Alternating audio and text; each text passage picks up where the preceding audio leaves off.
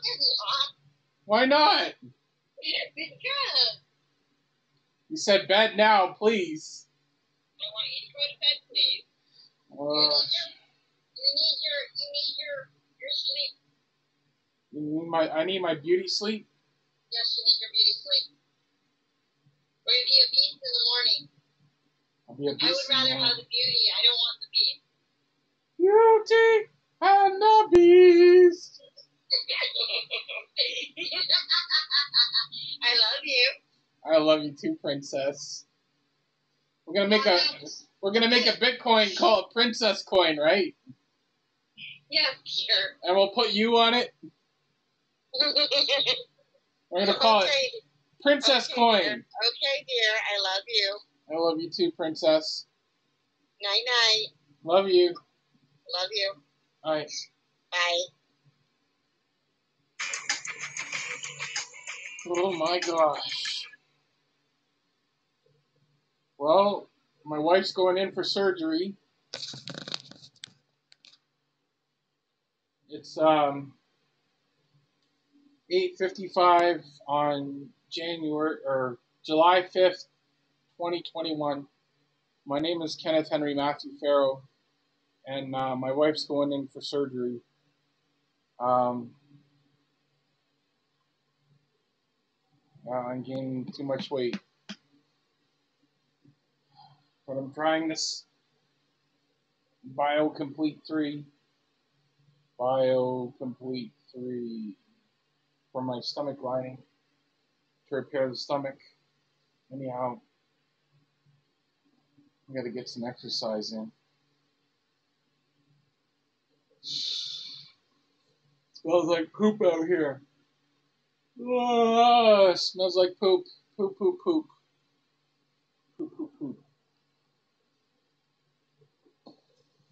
I had a voice in my head talk to me, and he was telling me about uh, the Bible verse there. It was uh, 2 Samuel 12:8. I gave you your master's house and your master's wives into your keeping, and gave you the house of Israel and Judea. And if that was that had been too little, also would have given you much more. Why have you despised the commandment of the Lord to do evil in his sight? You have killed your the the Hittite with the sword. You have taken his wife to be your wife, and have killed him with the sword of people of Ammon. Now therefore, the sword shall never depart from your house, because you have despised me, and have taken the wife of Uriah the Hittite to be your wife. Thus says the Lord, Behold, I will raise up adversity against you from your own house. And I will take your wives before your eyes and give them to your neighbor. I know someone who does that all the time, every day. I'm gonna get slapped. And she, and he shall lie with your wives in the sight of the sun. For you did it secretly, but I do this thing before all Israel before the sun. So David said to Nathan, I have sinned against the Lord. And Nathan said to David, The Lord has also has put away your sin. You shall not die. However, because you by by this deed you had given great occasion for the enemies of the Lord to blaspheme, the child also who is born, you shall surely die. The nation departed to his house, and the Lord struck the child that Uriah's wife bore to David, and it shall be, and it became ill. David therefore pleaded with God for the child. And David fasted and went in lay, and his son lay on the ground. So the elders in the house arose and went to him and raised up from the ground. But he would not, nor he would not eat food with them. On the seventh day it came to the pass the child died, and the servants of David were afraid to tell him the child was dead. For they said, Indeed, while the child was alive, we spoke to him, and he would not heed our voice. How can we tell them the child is dead? He may do some harm. Then David saw the servants was whispering. David perceived that the child was dead. Therefore David said to his servants, Is the child dead? And they said, He is dead. David arose from the ground, washed and anointed himself, and changed his clothes, and went into the house of the Lord, and worshipped, and went into his own house, and went and requested that they set food before him, and he ate.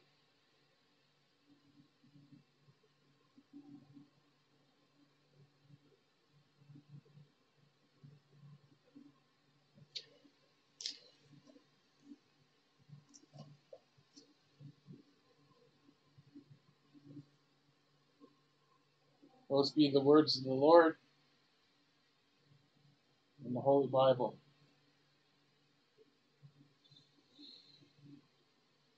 In reflection of the things that it's much like life. We receive so many great gifts from the Lord. We receive so many things that we don't even see with our own two eyes.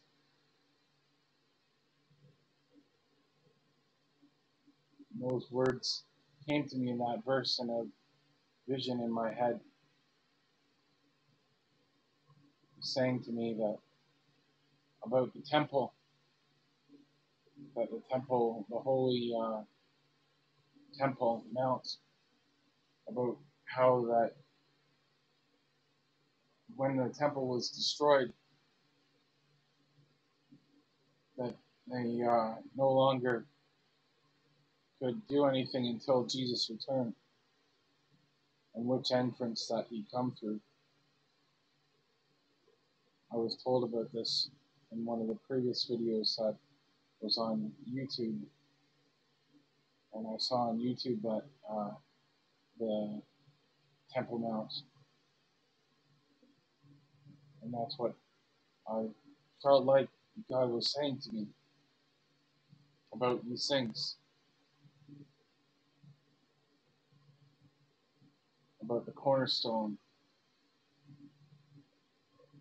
and where it would be built again on the third temple. But it's already being built. It's already being built already. And it's uh, posted on the internet. I'll show it to you. I'm gonna find it here for you guys.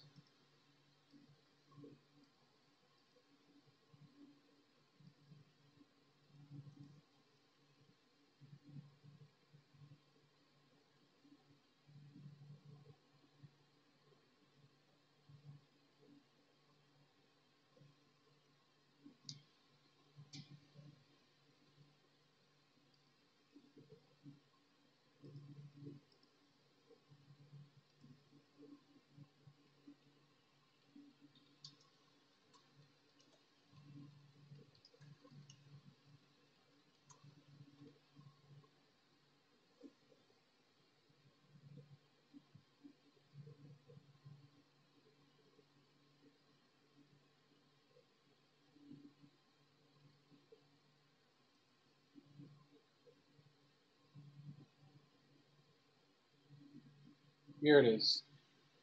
Here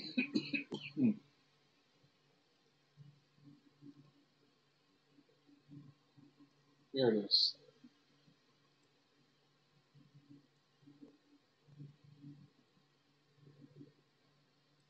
So here's the third temple.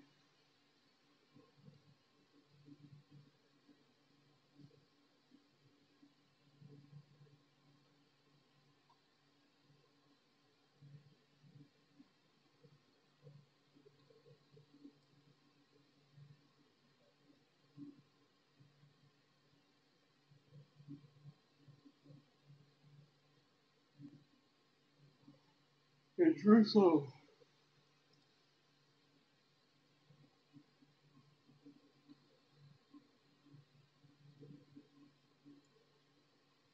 Another goal of the Mitzvah project is to help build the third temple on Mount Moriah in Jerusalem.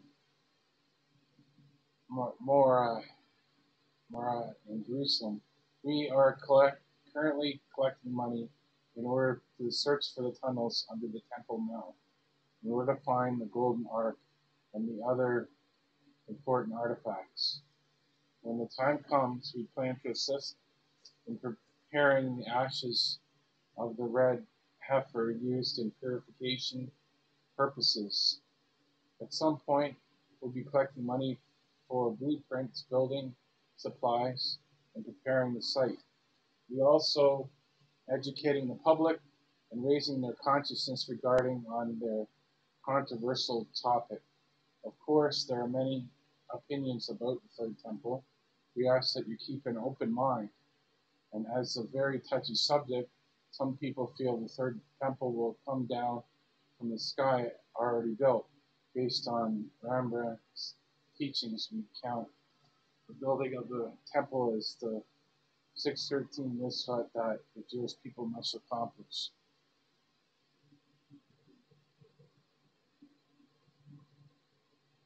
Very interesting stuff.